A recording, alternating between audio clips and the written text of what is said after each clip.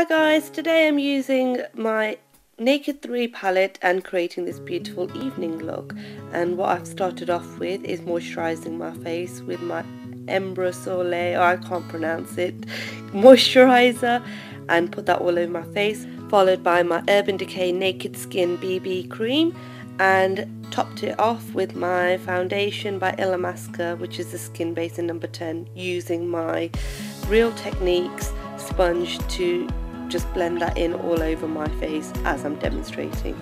Now starting with the eyes, I use my Urban Decay primer and I put that all over my eyelids up to my brow bone area. Then using my fluffy brush, I go into the colour limit and then just put that into my crease area. Just very lightly just putting it in there and just blending it out this colour is going to act as my transition colour.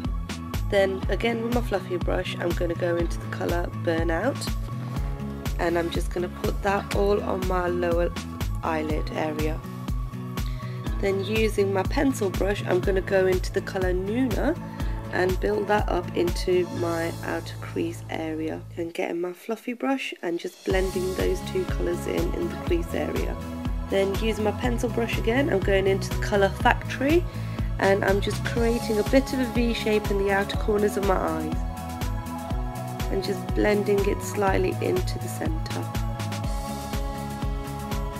And as you can see I'm creating a flick effect as well with that colour and again using my fluffy brush I'm actually just blending that out and actually flicking it out at the same time so it leaves no harsh lines.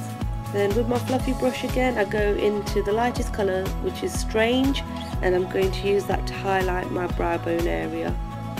Now using my um, smouldering brush by Illamasqua I'm going to dip into the colour Blackheart and just create a bit of depth near the outer lash line area, a bit of a V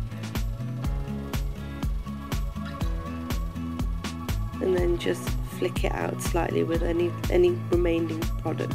I'm bringing some of that product towards the inner part of the eyelid as you can see and using my big fluffy brush or blending brush if you like I'm just going to blend that out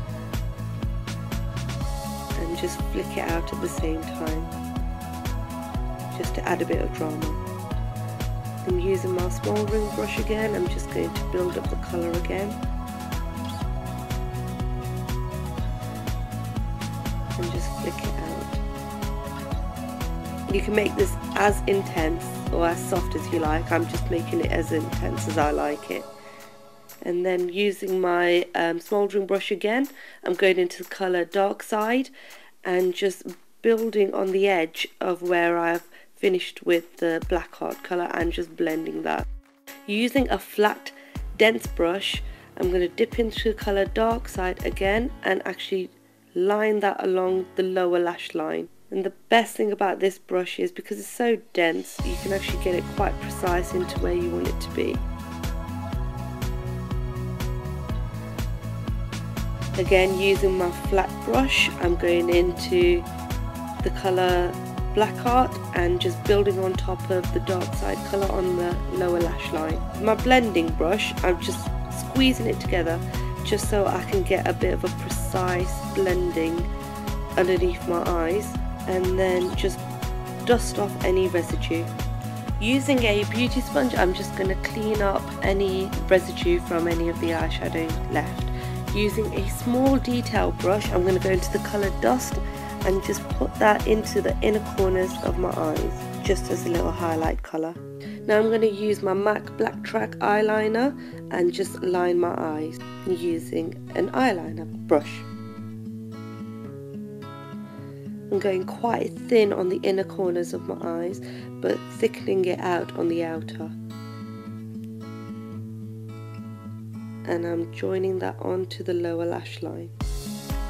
Using my Prolong Wear MAC eyeliner pencil in Defiantly Black I'm going to line the inner uh, waterline of my eyes and the upper waterline of my eyes. Then to finish off my lashes I'm going to use Maybelline Falsies and I'm really sorry about the lighting because well the sun doesn't want to help me out with this video today does it? Right just to finish off the skin I'm going to use my mineralized skin finish in medium plus in the lighter areas of my face.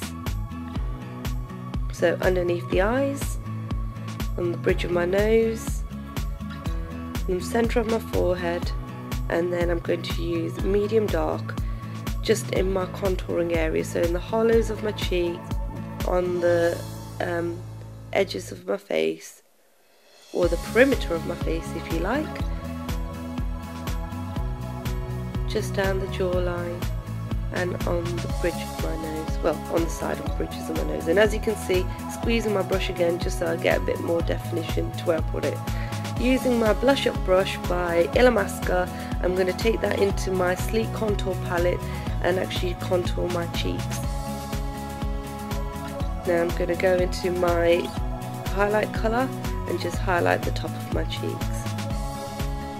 Now I'm going to use my um, contour brush by MAC and use the colour Sin by NARS and actually put that between the contour colour and the highlight colour and as you can see I'm lightly stroking that across my cheeks and not bringing it to the apples of my cheeks. I'm using the colour Captive by MAC and colour Test by Illamasqua to create my lip colour look.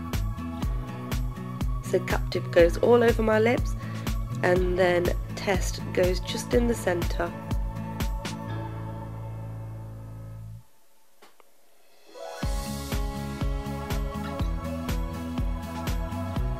and there you have it. There's the finished look. I'm really sorry if I sound horrible guys but I have lost my voice and I've just about got it back. So oh hang on a minute. I forgot my brows. Anyway for my brows I needed the brow kit by Sleek and I'm going to use my angled brush and fill in my eyebrows.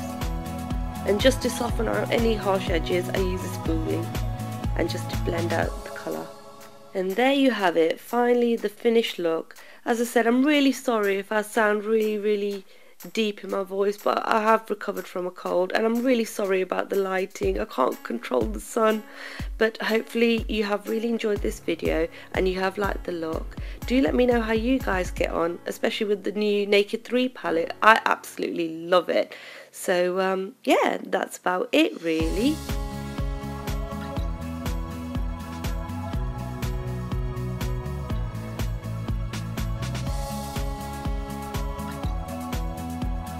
Do give me a thumbs up and do leave your comments below. And I will see you guys next time. Take care. Bye.